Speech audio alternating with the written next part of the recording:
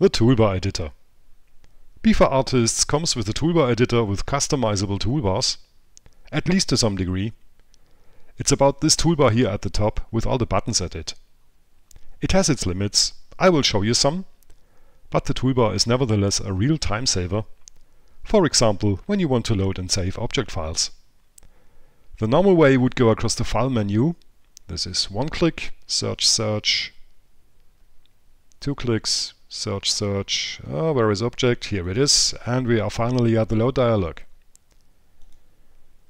With our toolbar it is one click and no big search. And that's just one of many possible tools where you can save a ton of clicks.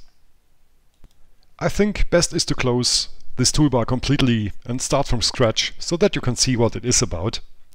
So let's close this editor away. We go at this triangle area here and pull down and these two regions will merge. Let's pull this a bit down and again at the triangle but this time we pull upwards and we get another editor type here. Here at the left you can see a new menu appearing. It is the editor type menu.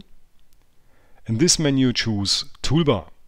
This is our editor, our toolbar editor. Here you can see a type menu. Here you can define the toolbar container. Let's choose File here. Let's create a few more. Let's say we choose primitives and tools.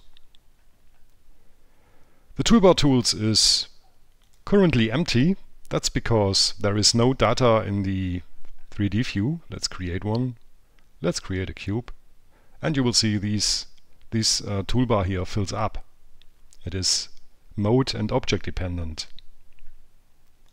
Now let's create a second toolbar.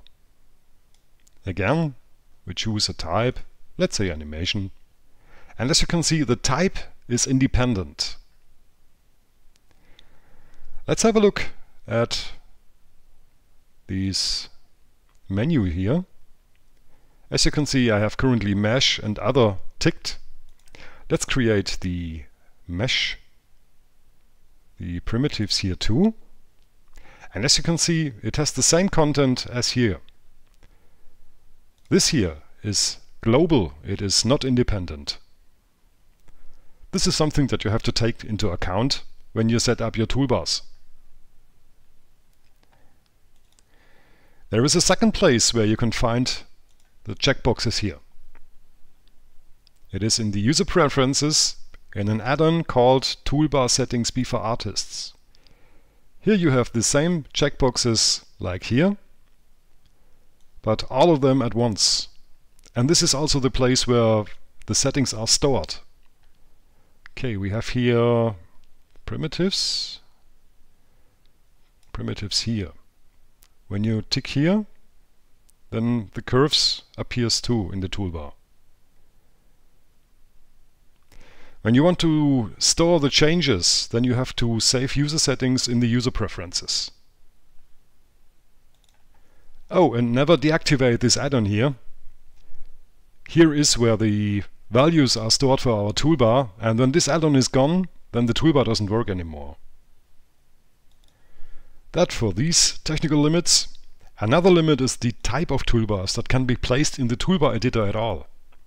Lots of tools in Bforartists depends of the editor window where you perform the operation. Good example here is to switch views. We have here an example that works global. But this is already a compromise. Let me show you what I mean. When I click the local buttons, then just this view changes. When I do this here, then all views changes. And there are really lots of tools that you cannot place here because they just work in its view. Okay, we are not done yet. Let's clean a bit up here. At the moment there are too many menus visible besides the actual toolbars. This is something that can be hidden away. right-click at the toolbar and choose Collapse Menus. Then these menus here, collapses, they are still available, but they are not longer in the way. What you can also hide away is the editor type menu. This is just required when you work, when you redo the layout. Collapse menus here too. And again, you have to save the user preferences to save the state. The state of collapsed and hidden editor is something that you have to save separately with the startup file. It is not stored in the user preferences. So you have to save both things here. There is one last issue left. There is this neat bug that Bforartist has inherited from Blender. Close the toolbar at the top so that there is really no area visible here anymore. Now go Windowed, drag it small, and drag it up again. And as you can see, this area here opens up. This is, as told, a Blender bug. There is unfortunately nothing that can be done here. Sorry.